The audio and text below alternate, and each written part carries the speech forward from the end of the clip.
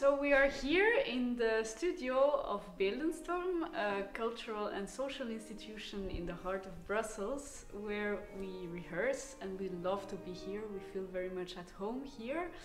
Um, there is a super nice atmosphere with the people. We feel like being part of the community here.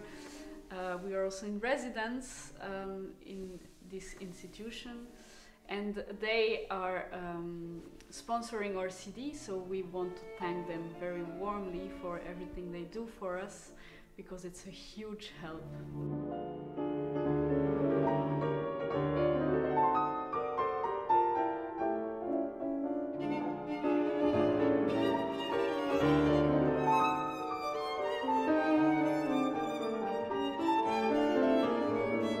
There is this nice and precious moments where, when we're in the process of rehearsing, that we can just uh, run our program for people that are around here, and basically, for us, it's great.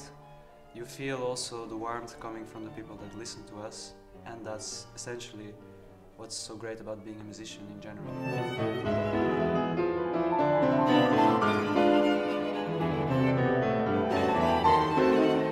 So for the recording, uh, DeSingel in Antwerp generously offered us their concert hall with the fantastic Steinway.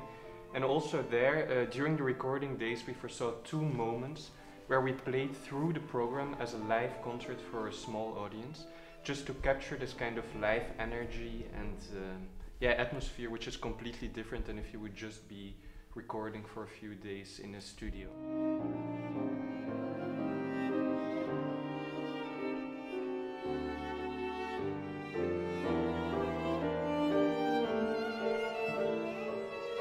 Awakening is actually a word that evokes many emotions, many thoughts for everyone personally, and for us, it's kind of the glue that binds these four composers together.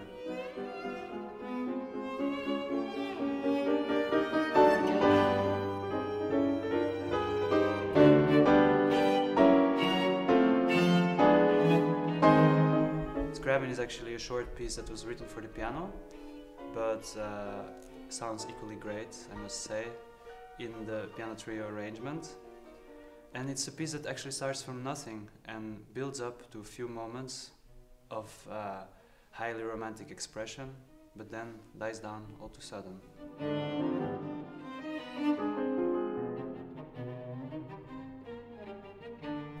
How about Suk? Well, no comment.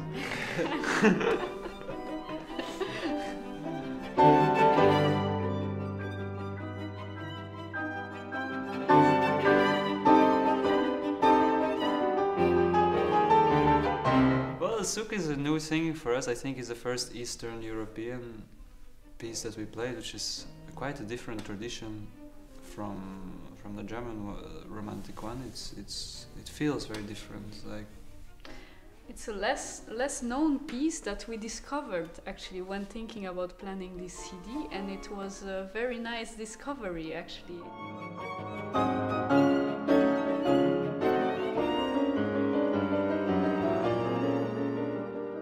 It's a bit like a short story. It's very visual. You know, there is a lot of things happening very, very quickly. There is a lot of descriptions. I find it's very visually stimulating.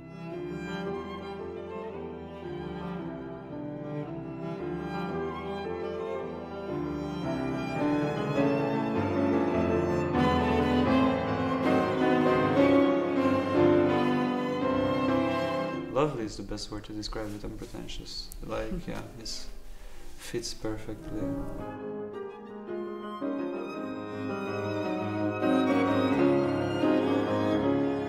What exactly is so special about the Schubert, about the Nocturne? Takes a lot of work Yeah, to get it right. yeah that's, that's, that's for sure. But well,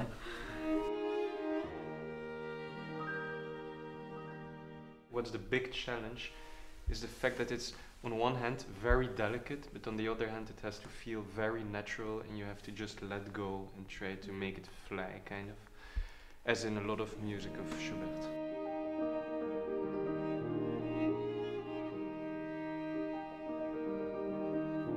He writes also always very long lines that you have to kind of have the big structure in mind, but also pay attention to all the little details. I think that's the main challenge in the, the music of Schubert.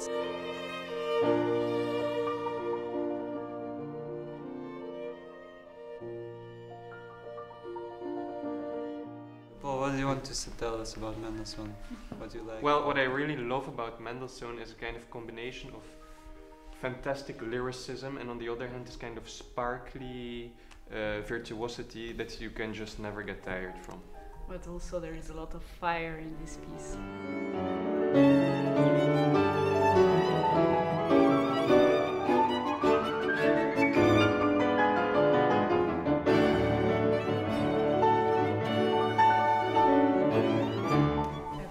About Mendelssohn in general that his music is always very satisfying to play. There is this this feeling of just Everything fits. yeah, It's, yeah. uh, the structure is perfect. There is a lot of passion and fire. It's just super fun to play.